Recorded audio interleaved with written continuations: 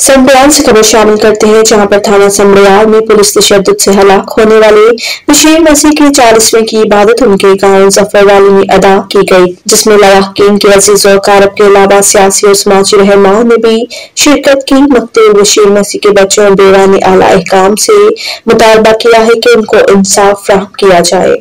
एक बार फिर आपको बताते चले कि थाना संबयाल में पुलिस तशद से हलाक होने वाले बशीर मसीह के चालीसवें की इबादत उनके गाँव सफरवाली में अदा की गई, जिसमें लवाकिन के अज़ीज़ के अलावा सियासी और समाजी रहनुमाओं ने भी शिरकत की। मकतूर बशीर मसीह के बच्चों और बेगान आला काम से मुतालबा किया है कि उनको इंसाफ फ्राहम किया जाए।